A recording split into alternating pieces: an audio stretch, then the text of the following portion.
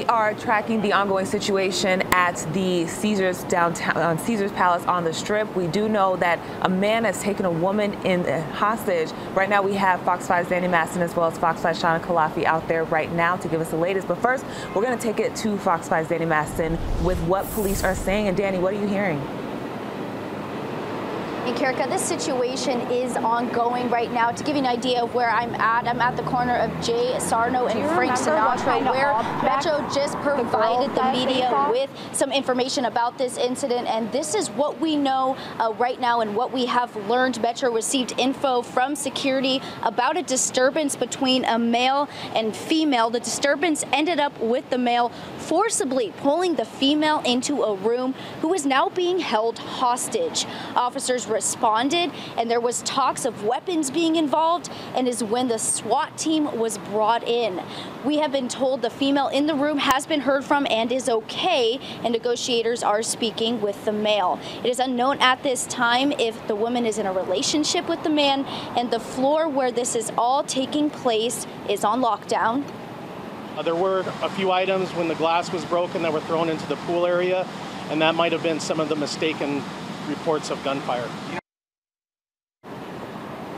Now, traffic has not been affected on Las Vegas Boulevard. Uh, Metro officers and the SWAT team remains on scene here at Caesars Palace Hotel. As soon as we get more information on this incident, we will be sure to bring you those updates. For now, I'll send it back to you in studio.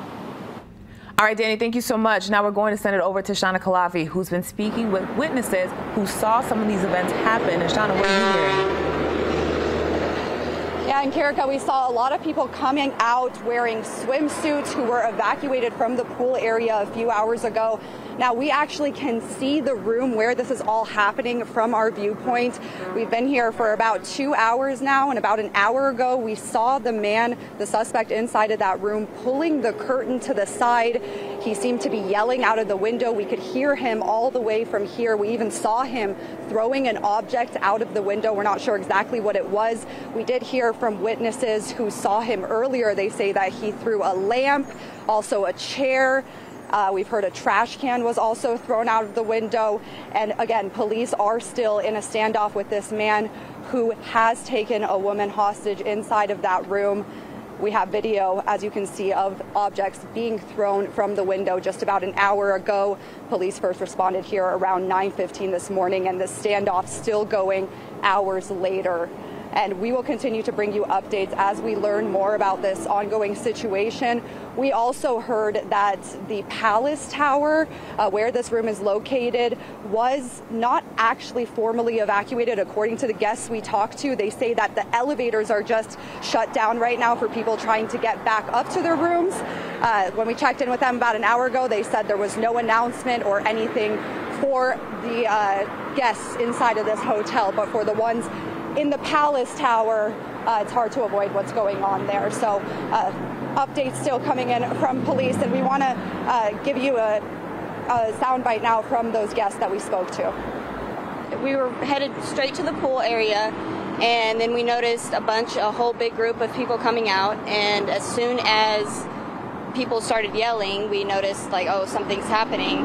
We ran straight up to our room because we have a perfect view of the pool and as soon as we got up there, we saw him throwing stuff out of the window. What did you see him throwing? Uh, he threw a lampshade, um, a cushion, uh, a piece of wood. Like, he was just going crazy.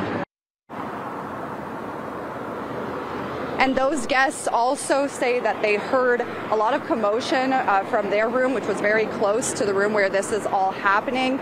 They also said they heard a loud sound that at the time they believed was a gunshot. We now know that police have confirmed no shots have been fired. But again, one man and one woman still in that room, the woman taken hostage this afternoon. We'll bring you updates as we get more. I'll send it back to you. All right, Shauna, thank you so much. And of course, stay with Fox 5 News for continuing team coverage of the standoff at Caesars Palace. We'll update you with the latest developments as we get them.